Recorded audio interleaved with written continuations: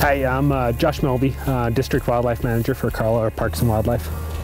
I'm Trent Verquer. I'm our grasslands habitat coordinator for Colorado Parks and Wildlife. I'm going to go over uh, some basics on uh, on cleaning birds um, and how to properly uh, to clean a pheasant. Um, one of the first things to consider is um, making sure you're legal. Uh, we come across lots of people in the field that um, have birds that that don't meet the uh, the legal regulations. So um, the biggest thing to consider is when we check you in the field, um, we need to have a way to identify this bird is a rooster um, and make sure it's not a hen. So there's three things you can leave on this bird um, to to fulfill um, the legality requirements. Uh, the first is a fully feathered wing or a leg with a spur on it or a fully feathered head. So um, I typically prefer the, uh, the leg um, just because it is uh, smaller, it's easier to fold up and, and put in the bag there, and then you don't have to deal with any of the feathers and stuff. Okay, I'm going to show you two different ways to uh, process these birds on a cold day like this. You don't need to field dress them right away. Early season, like opening weekend, might be a different deal, but it was a nice cold day today, so we're just able to keep them in the back of the truck to get some air circulation uh, to start with. So with this bird, I'm going to demonstrate the a pretty standard method. I'm going to leave the leg with the spur for the uh, evidence of, a, of the rooster on this one. And what I tend to do is I'll come in here and take the wings off first with a good pair of game shears.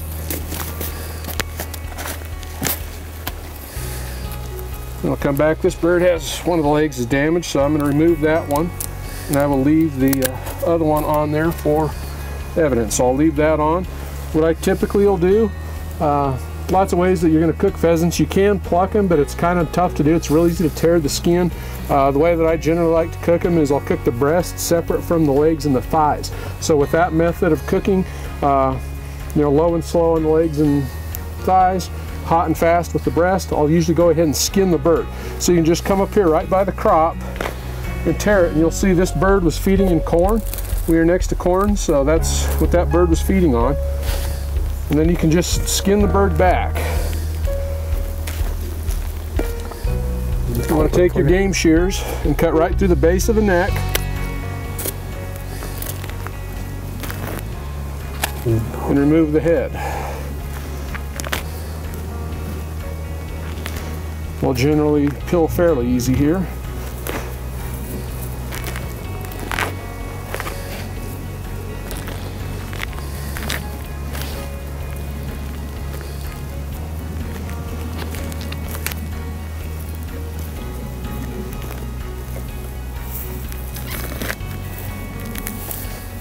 Again, you want to make sure that you leave that leg with the spur naturally attached to the bird.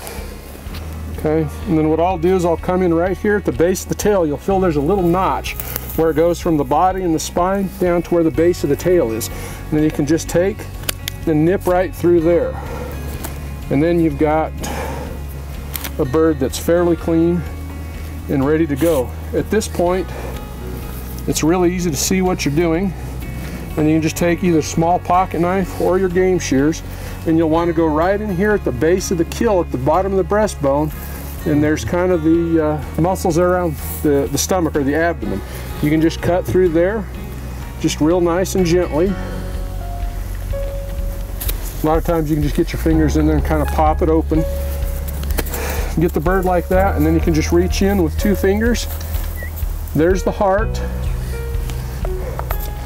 and you can just grab everything and roll it right out of the carcass.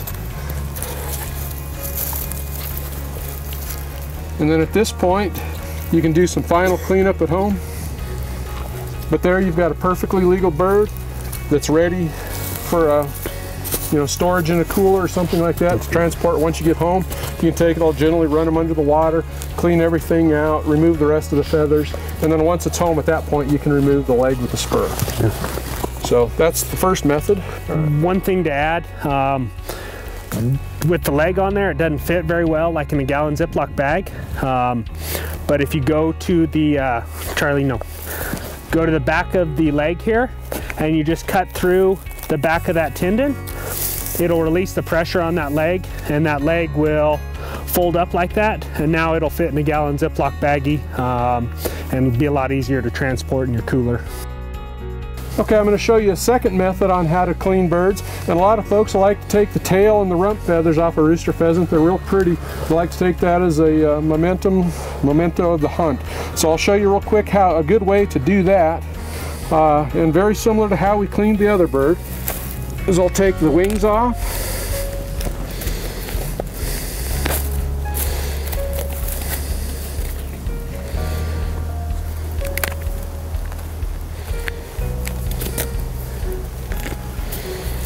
And then if you'll come right here about where the wings end, you can start to skin the bird right there. And it works a little bit better if you put a little, a little nick in here. And then you can get back underneath that skin and you want to make sure that if you're wanting to keep this, that you don't uh, screw up those rump feathers. And you just sort of skin that back. Nice and gently. Right back to where the spine and that tailbone meets again. Okay, at that point, you can just snip through there. That one. And then you can just take that at home, put a little borax on it, pin it down to a piece of cardboard, and you can make you a real nice tail fan. Okay. At that point, it's going to be real similar to how we did the other bird. I'll leave one leg with a spur on it, and then I'll skin the bird.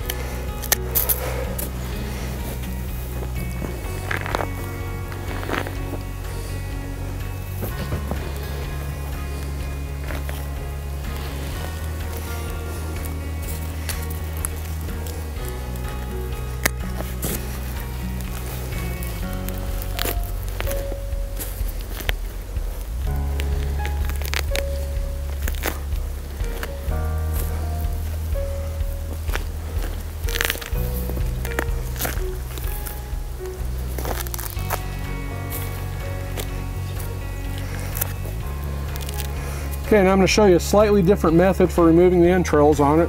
Uh, makes it real nice and easy. You'll see here's the spine of the bird. You'll take your game shears, and if you just go in right on either side of the spine, and you can just clip that all the way back, and then go down the other side of the spine, and you can clip that all the way back down. And then you can just grab the spine, remove it, and all of your uh, all of your organs are, are right here. There's the, the heart, the liver, the gallbladder, the uh, gizzard, and the intestines. And then at that point, you have a uh, very clean bird. Uh, if there's a bird that's shot up bad, particularly if you shot the bird in the intestines, you'll want to take like a bottle of water or something, clean that out right away. This bird's not shot up too bad, uh, and so it's good to go. I would probably just take this, uh, you know, clip the tendon like Josh was showing you earlier to make sure that you don't go all the way through where that'll fold up. You can put that in a Ziploc bag and put it in the cooler and you're good to go. And then when you get it home, just rinse it off and you're good to go. Uh, and again, when it comes to the uh, cooking methods, generally the legs and thighs, I'll cook them in a stew or a soup or something along those lines. Whereas the breast, there's lots of really good ways that you can make that. Uh, one of my favorite ways is just uh, battered and fried in a uh, Zatarain's fish breading, works really well on pheasant. Uh, crushed up Ritz crackers, works really well. you make schnitzel with it real easily, that comes out great. pheasant parmesan, there's lots of really good ways to use it. Uh, one of the best meals that you can get and really adds a lot of enjoyment to the pheasant hunt.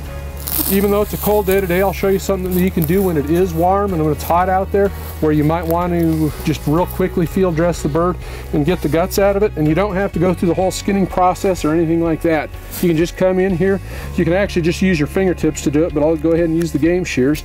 And you just make a small incision back there. You can fill the base of that keel and just start to pry everything open and then you can put your fingers in there and just pull everything out. Uh, you'll get everything but the crop. The crop is, is up here on the front, but you can reach in and remove most of the uh, most of the innards in one pretty quick step. And then on a hot day, early season or something like that, it's worth taking a few minutes to do it. And in particular, if you're hunting other upland bird species, sage grouse in particular, uh, I always just take uh, a few gloves with me And as soon as I kill a sage grouse, I'll just clean it right away. Uh, on that bird in particular, it helps the uh, table quality out quite a bit it's generally early September and it's hot. Uh, and then with what those birds are eating, it's uh, important to get them cleaned right away. But as you can see, that takes just a few seconds. You take care of it, put it back in, and the bird's ready, you know, good, good to go and, and ready to take home with you just like that. Uh, but you've got the, uh, the organs out that might potentially spoilage, particularly if you've got a bird that's shot up bad. If you've shot a bird bad in the intestines, it's worth going ahead and getting that out of there during the uh, early season when it's, uh, when it's hot. So yeah, one of the uh, real advantages to this method, particularly if you're on a multi-day trip or something like that, is it keeps the bird clean. You don't have to get it bagged up in plastic. You can uh, all oftentimes do this with birds and just pack them on ice in a cooler. Uh, it keeps them clean. It keeps any, you know, dust, dirt, or debris or anything that you might have going up and down the road off the bird. Keeps it completely sealed up and moist. Uh, the package that they came with, I guess, is what you're keeping them in. Uh, and it works out really well. Uh, and birds like this, not at all uncommon on a multi-day trip. Know, pull the guts out of them, keep them cold. You can keep a bird like this in a cooler for four or five days, no problem. One last thing to mention here is once we've got all these birds cleaned, um, it's always good to get them cleaned in the field and uh, get them taken care of so that meat's gonna be the best you can have it when you get it home. Um, but one thing we need to take care of is we've got all these feathers and uh, organs out of the birds. Um, a common complaint I hear with landowners, and I've heard a lot of landowners that don't let anybody pheasant hunt anymore because they come across piles of pheasant carcasses on their properties, especially walk-in properties, any public hunting properties. When the landowner drives by and sees a bunch of pheasant feathers laying on their property, um, they, they usually don't like that. So you need to make sure you pick all these up, throw them in a bag, um, take them, put them in a trash can. Um, that way, chances are that property is going to remain open for pheasant hunting in the future. I don't have to wear gloves. I typically do just because it makes it a little bit nicer, particularly if you're going to continue to hunt or have a sandwich late or something like that. You either bring water with you, but these gloves are cheap and easy. Uh, I always have them. It just makes a, the task a little bit more pleasant. Uh, and then generally with uh, birds, it's not an issue, but like uh, other small game mammals, particularly like rabbits and stuff like that, there can be some issues with tularemia and a few other things. Uh, and it's just, it's a good practice to just do it. I just get in the habit of doing it. Uh, combination of convenience and then just if there is something there, you know, it's not not at all uncommon for wild critters to have, you know, parasites like tapeworms and stuff like that. And just you know, very low risk of it being a human health issue, but uh, certainly makes the, uh, the task a lot more pleasant for you. Uh, and then if there is any potential risk factor there, it completely mitigates it. We hope you have a good pheasant season and uh, stay safe out there and uh, get to put this to use um, after you've been out in the field.